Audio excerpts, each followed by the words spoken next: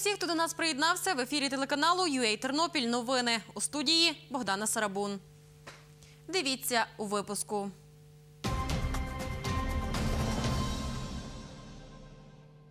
Частина зовнішньої стіни обвалилася в будинку на проспекті Злуки, 19 у Тернополі.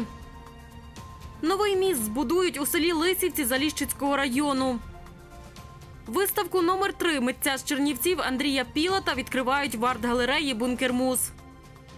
Турнір з мініфутболу, присвячений Дню пам'яті Героїв Небесної Сотні, відбувся у Тернополі.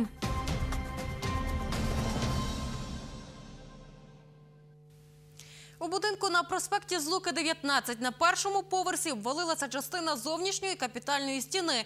Висота обваленої частини 3 метри, ширина 2,5. Про це нам повідомила мешканка п'ятиповерхівки Катерина Дубик. Наша знімальна група побувала на місці виникнення обвалу. Детальніше про проблему у сюжеті нашої кореспондентки Любові Гадомської.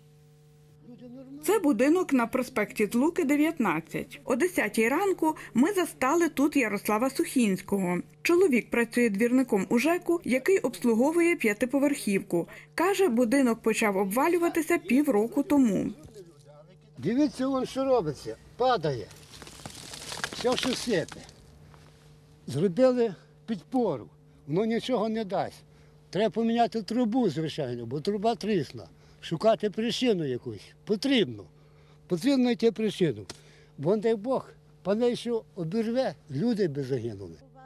Катерина Дубик мешкає у будинку на проспекті Злуки, 19. Наш будинок обвалюється знизу. Е, Дівчата писали звернення. Е, Коли мешканці гуртожитку підписувались е, до начальника комсервізу е, на цього, на Вірусюка. Вірусюк мав е, подати вище. е, То, то звернення. Вони два роки тому захляпали. Просто йде грибок. Вони захляпали і так воно стоїть. Але то треба наново підмурувати, тому що дим валиться так, як в Львові. І туди погинуть люди. Катерина Дубик розповідає, будинок руйнується не тільки іззовні. Жінка показує приміщення душової кімнати на першому поверсі будинку, яка межує з обвалом. Тут усе покрито грибком. Кажуть, що то грибок на цій що то віддушив, то не віддушив. Той грибок, як ми поселилися, гуртожиток має з 56-го чи з якого року. Як ми вже поселились, тут були душі і була прачечна. Тут всі дівчата прали, все, тут весь час пара стояла постійно. Нам ЖЕК дав дозвіл на е, проведення душі, встановлення, і ЖЕК нам його сам річно робив. Грибок не тільки кидається на ту стіну, він кидається і на ту стіну. Пер- Перша хата, друга хата з душової, тим більше е, сушилки, там йде грибок. І воно неправильно побудоване. Цегла вона кришиться. А це душова кімната на другому поверсі. Мешканка будинку Галина Баран розповідає, не так давно тут зробили ремонт. Ми постійно робимо ремонт, зробили ремонт, він далі лазить, тому що стіна є знизу з грибком, і воно все вилазить доверху. От стіна, все, все, все. Боїмося, що воно впаде. Впаде, і туалети закриють, ми навіть не будемо мати куди в туалет сходити. Ми боїмося тут жити. Може, будинок може розвалитися. За коментарем ми звернулися до керівника підприємства Тернопількомсервіс, яке є балансоутримувачем будинку.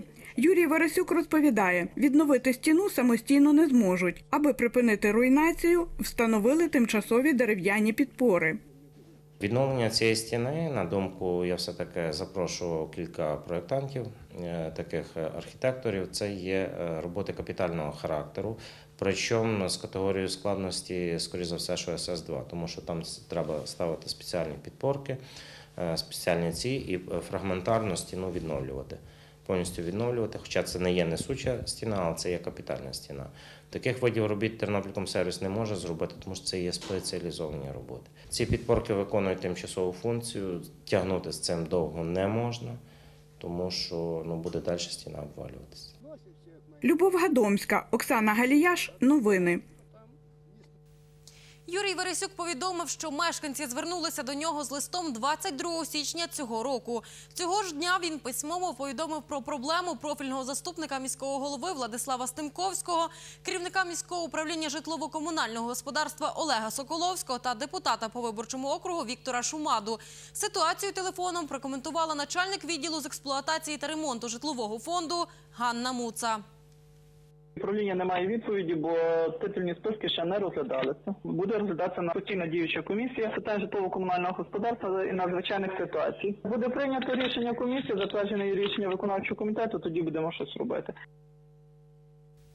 Коли засідатиме комісія, невідомо. На найближчій сесії, яка відбудеться цієї п'ятниці, питання також розглядати не будуть, повідомила Ганна Муца.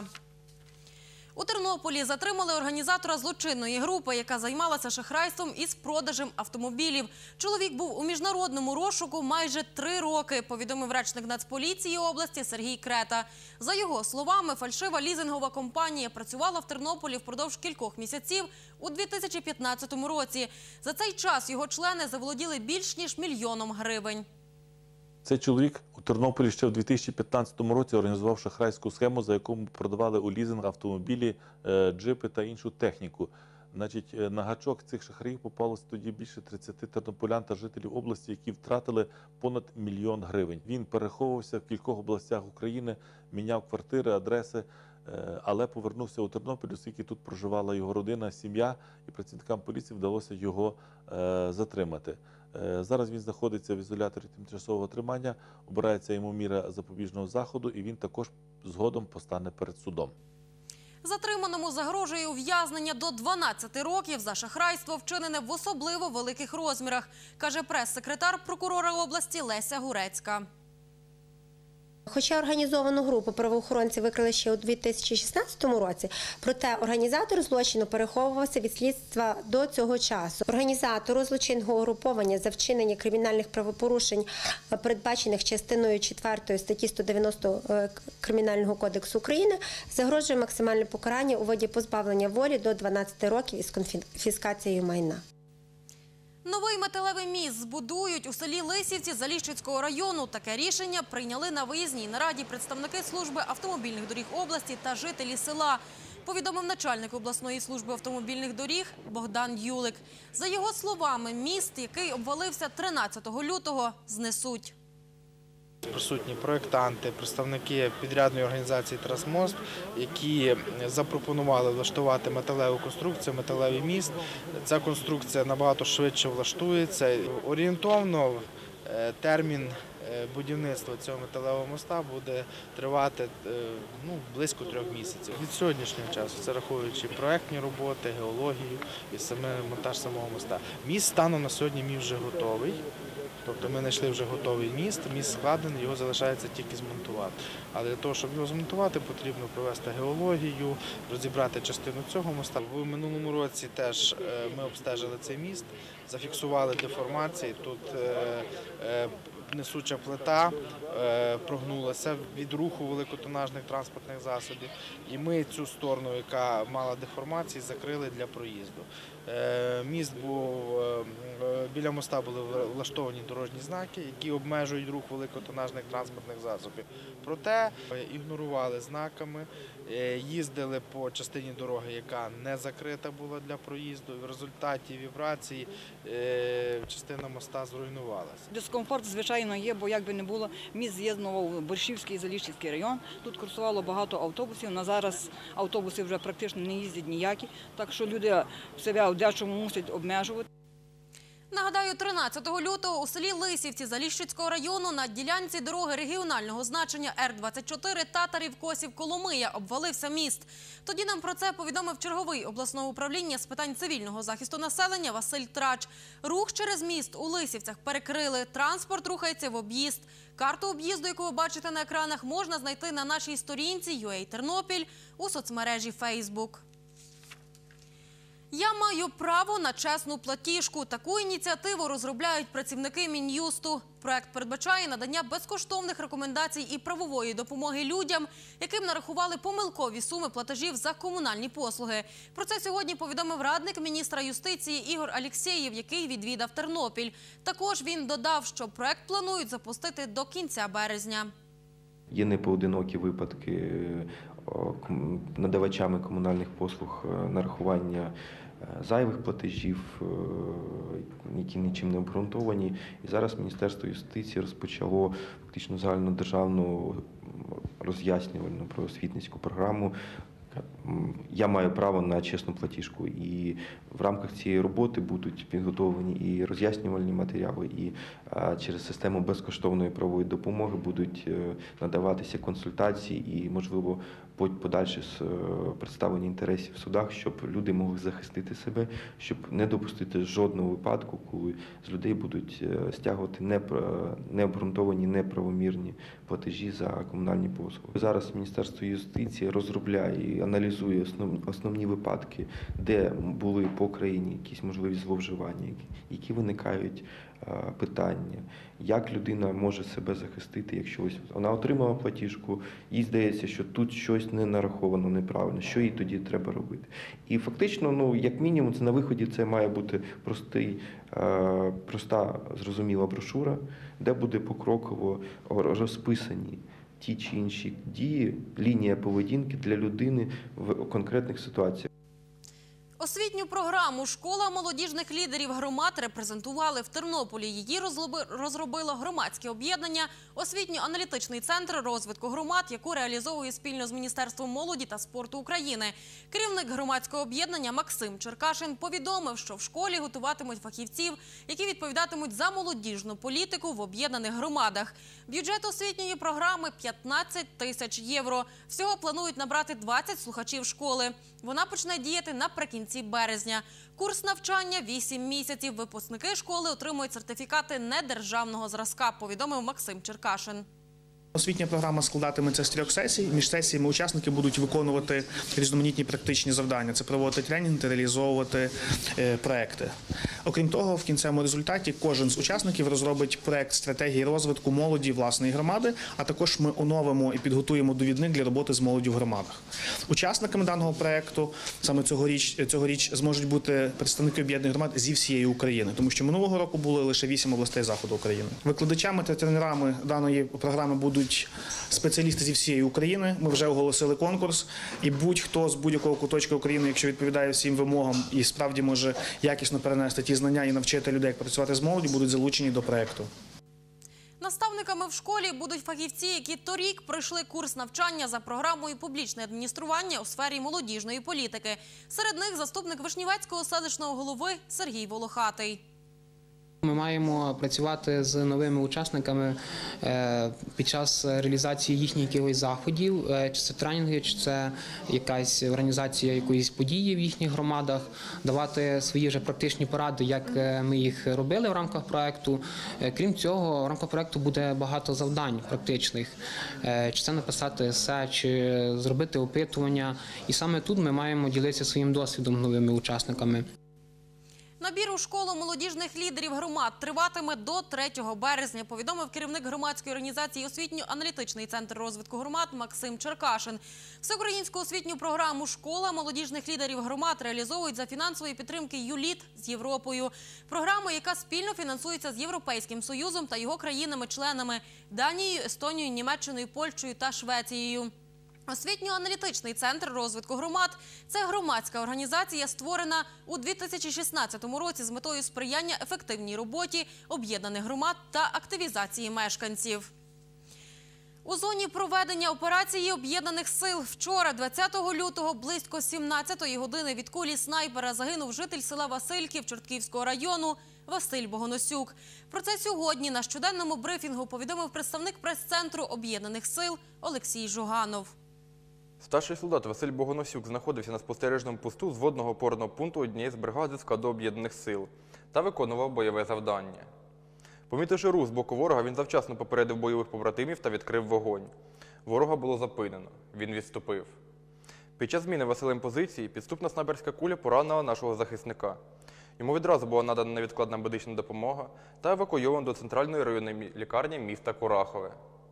Лікарсько-сестринська бригада 66-го військово-медичного госпіталю до останнього боролася за життя воїна, двічі запускала після зупинки серце, але поранення виявилися несумісними з життям. За мужність та пильність старшого солдата Богоносюка Василя Богдановича подано до нагородження посмертно. Василь Богоносюк був старшим солдатом Збройних сил України, військовослужбовцем 24-ї окремої механізованої бригади. У загиблого залишилася дружина та двоє дітей. Зустрічати тіло загиблого бійця будуть завтра о 12-й годині на подвір'ї собору Петра і Павла в Чорткові. Про це нам повідомив керівник прес-служби Чортківської міської ради Тарас Заєць.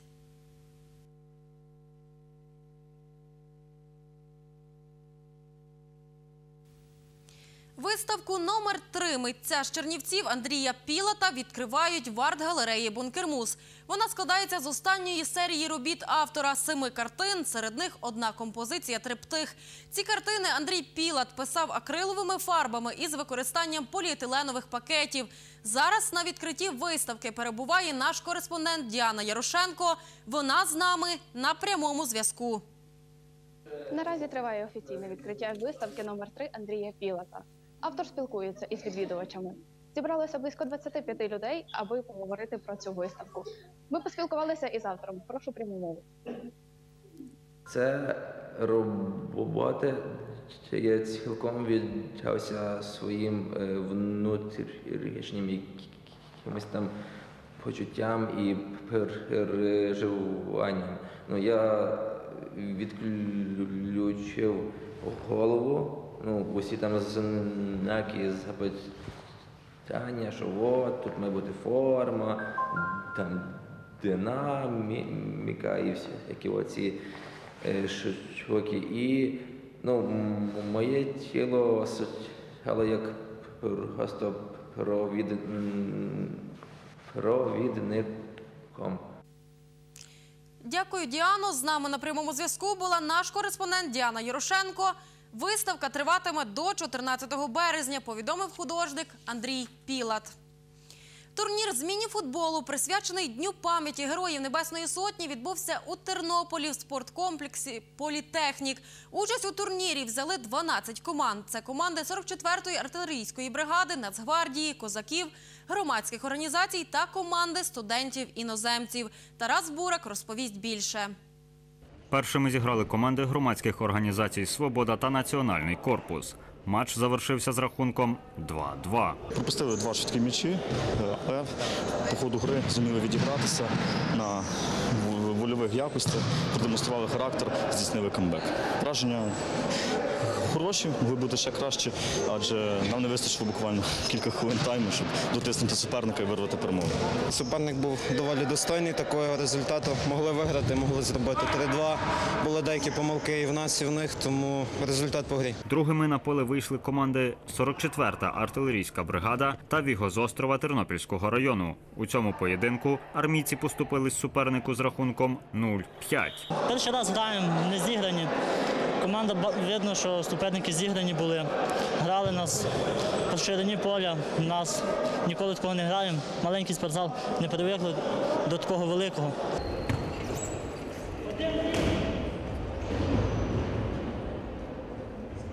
Гра була непогана, в принципі, трошки суперник е, такий був не, ну, чуть не організований, але, але все одно хлопці старалися.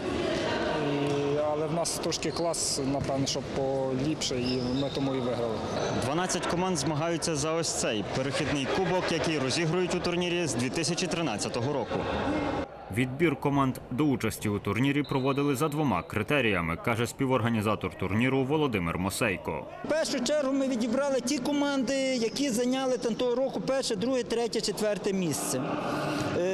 Далі, згідно вже заявок, які от Свобода подала того року, вони ще не приймали тут. Е, Національний корпус подав заявку, не приймали. Ну так як турнір називається в єдності наша сила, усі ми козацького роду, то хотілося тут залучити більше, більше верст населення. Тарас Бурак, Юрій Багрій. Новини. За результатами зіграних матчів перше місце команди з Джуринської Слобідки Чортківського району. Друге у козаків Тернопілля. На третьому місці команда з Великого Ходачкова Козівського району. Турнір з міні-футболу проводять 10 років поспіль. Раніше він називався Кубок Святого Миколая. І впродовж чотирьох років його присвячують Дню пам'яті Героїв Небесної Сотні. Це вся інформація на цю годину. Більше новин ви можете знайти на нашій сторінці UA Тернопіль у соцмережі Facebook. Наступний випуск новин дивіться о 20.30.